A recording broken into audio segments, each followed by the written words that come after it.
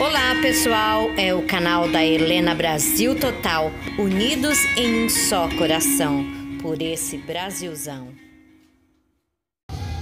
Olá pessoal, boa tarde. Gente, Meghan Markle, duquesa de sucesso, passou por uma situação, digamos que meio que embaraçosa. Imagina você indo numa festa chiquérrima e você ser assim em parte o centro das atenções e você estar com a etiqueta pendurada na roupa seria embaraçoso para você?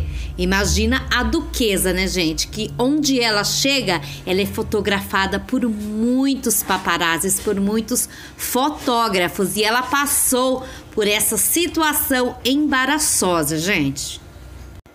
Bem, pessoal, foi em uma viagem ao lado do marido que ela fez na Oceania.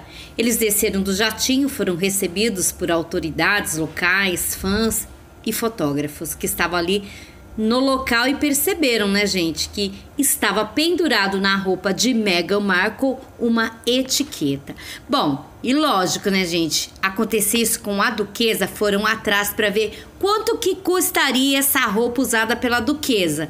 Bom, equivalente a 350 libras esterlinas ou 1.662 dólares, segundo a cotação aí, gente. Bom, era um vestido vermelho aí, ó, que vocês estão vendo, que representa a cor da bandeira de Tonga, pequeno país com 107 mil habitantes e que foi visitado pelo casal aí, gente, que é a duquesa de Success durante aí essa saia justa aí que passou Meghan Markle. Bem, pessoal, e aos 37 anos, a duquesa de Success, Meghan Markle, está grávida, né, do seu primeiro filho ali com o príncipe Harry, que deve nascer o ano que vem lá no hemisfério norte durante a primavera. E como vocês estão vendo aqui, a barriguinha da futura mamãe Meghan está aparecendo já, né, gente? Vou ficando por aqui. Se inscrevam no meu canal, deixa o seu like, deixa os seus comentários aí. Bye bye, até meu próximo vídeo.